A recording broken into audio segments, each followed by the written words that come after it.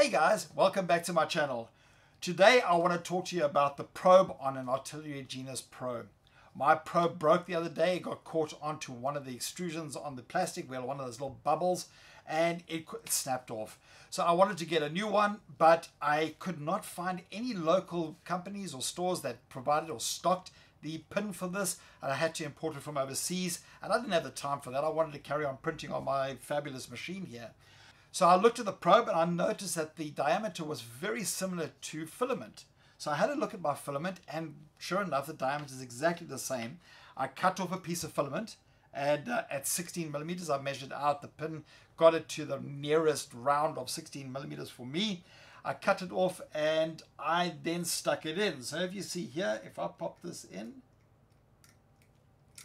there we go. The pin works, okay? The solution worked for a while and everything was going well, but again, when it caught onto one of those little bumps, those little bubbles that come up every now and then on your print, it broke off again and it snapped. It bent and it snapped. So that was a temporary solution. I did that three or four times and each time it would snap and break. So I thought I need to find a different solution. So then I thought of a humble toothpick. Toothpick is a, is a nice strong, the wood is nice and strong, it's workable and you can make it work with that. So I took a toothpick and I cut it down to 16 millimeters and I tried to put it into the probe spot, but it did not fit. But ever so slightly, it just would not go into the hole. I also tried a 3D printed version, okay, but this here, I don't like it. It's not as strong as I would like it to do. You can print this out and mold it down to the right side and put it in there, but I abandoned this pretty quickly. I'd rather use the toothpick because that's nice and strong. So what I'm going to do today is show you exactly how I made this pin with a toothpick and I got it to fit inside there. So firstly, you just want a decent quality toothpick. You get these toothpicks that are poor quality.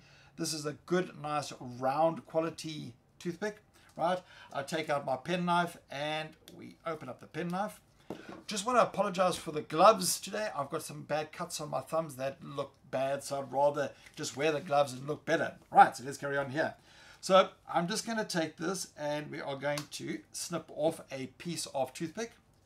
And then I'm going to take my trusty old vernier now, I've had comments in the past about my vernier skills that they're not very good. So, excuse my vernier skills. This is what I do, how I do it, and uh, you know, you there might be better ways of using a vernier, but I like it like this, and this is the way I use it. So, I'm going to get this.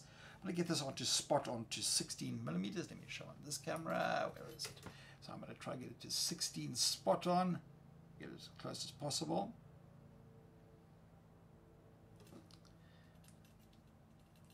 All right, so we get to 16 millimeters. That's close as possible to 16 millimeters.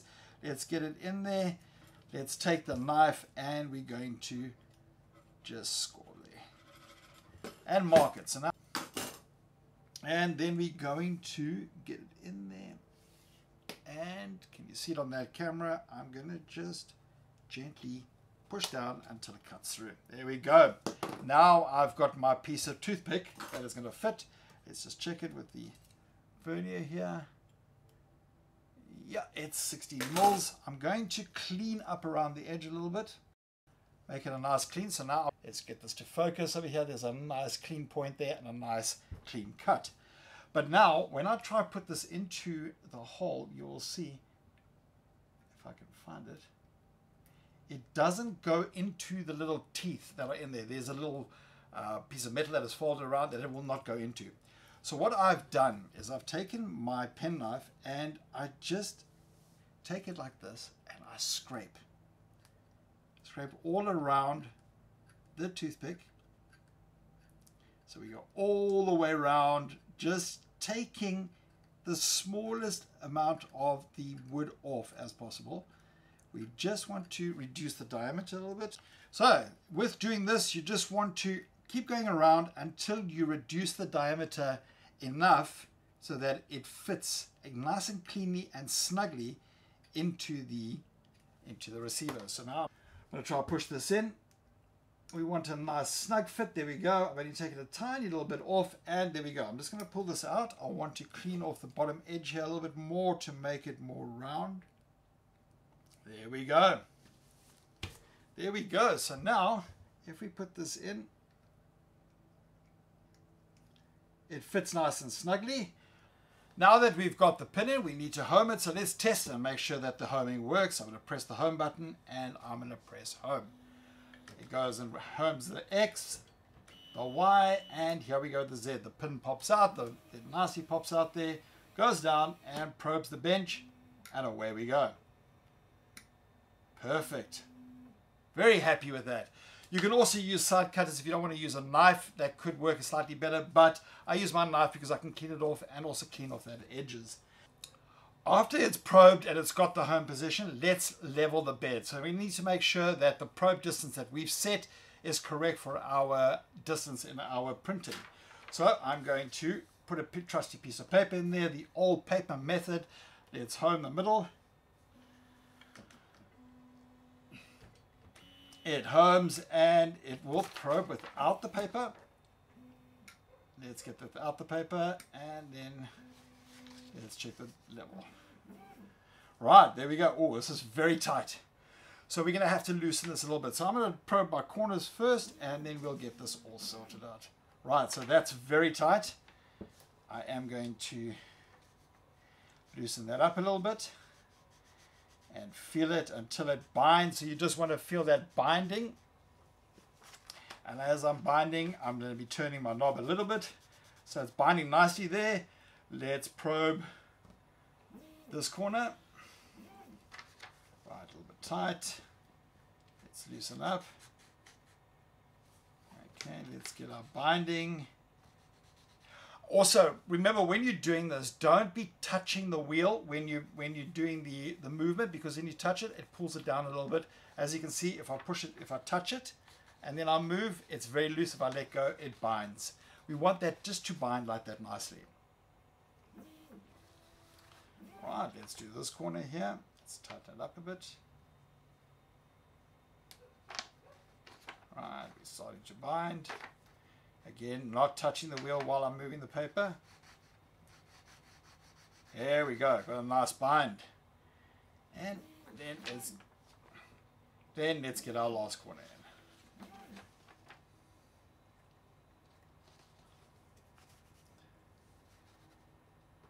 Also, don't be leaning on the on the table, on the bend.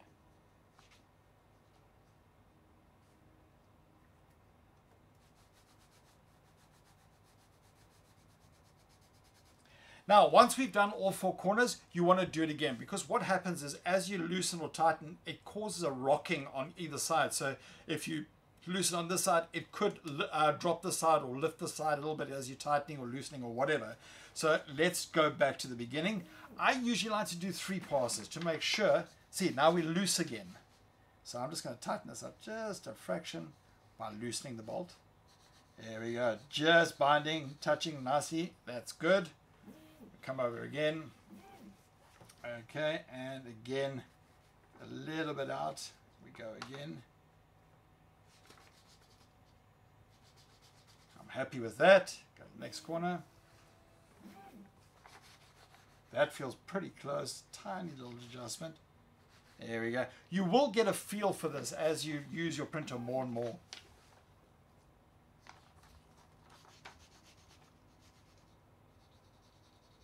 Right, now that we've done it past twice, we are going to go and do one more. Verify that's good. Check across. That's good. Come across. That's good. Come across.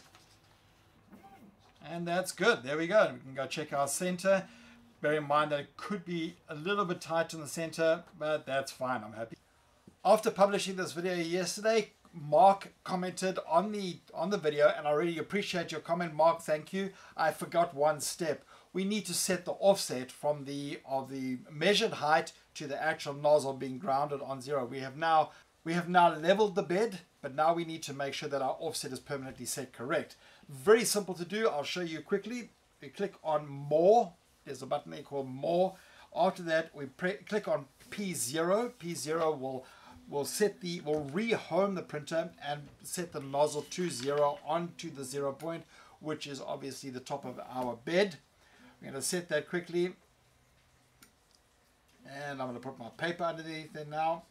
And I feel it's okay. So now what I'm going to do is I'm going to set the offset. So what we do is mine is very loose. It could be very tight. If it's tight, you lift the head up. If it's loose, you lower it.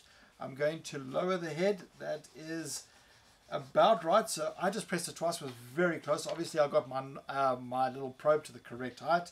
Just going to check it one more time. Let's just move it up. There we go. Let's feel how that feels. Yeah, that I like that. Then we're going to do an EEPROM save. That'll save it to the EEPROM and allow you to, next time you use the machine, it will be set to EEPROM save and everything will be fine. So that's it guys, we've now replaced the, the probe on our on our BL Touch, on our touch sensor, on our Artillery Genius Pro, and our machine is running again in a few minutes. You don't have to rush out to a store. If you want to go buy the original probe, order it, do this as a temporary thing to carry on printing, put your original probe in, make sure you level the bed again, and all is good. Thank you guys for watching. Please consider subscribing and giving me a like on this on this video if you like it and let me know what else I can give you or what else you would like to know about this specific machine or the Prusa at the back there. Have a great day. God bless. Thank you for watching.